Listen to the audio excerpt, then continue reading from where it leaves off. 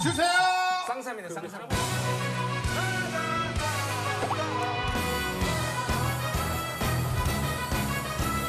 아 너무 좋아 이 노래 진짜.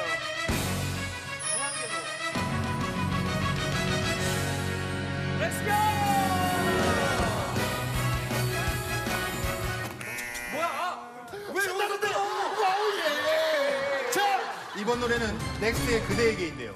그룹명 넥스트는 new 이거 어떻게 읽는 거야? 무한궤도의 그대에게 아니에요? ex 넥스도 할수 있고. ex 안녕하세요. experiment 야 까먹는 방금. New Experiment Team. 의 줄임말입니다. 그렇다면 실드 관말은 어떤 문장의 줄임말일까요? 실드 관말. 쉴드? 실드 관말. 이게 티, 이런 정답은 실제로 들은 말 아니면 관뚜껑 닫히기 전까지 말하지 마. 야 실제로 들은 말이 뭐야 들은 말.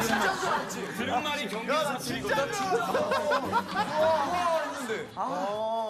김영철 씨 말에 우리가 자주 하는 행동?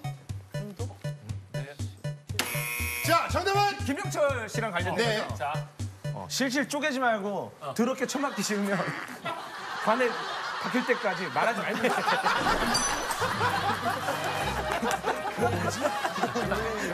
첫 번째 실의 힌트 나랑 좀 약간 연관성 있어. 어? 어. 실패. 어. 실패인데? 어, 바로 맞추네. 자, 실패한 드립 관심 주지 말자. 정답!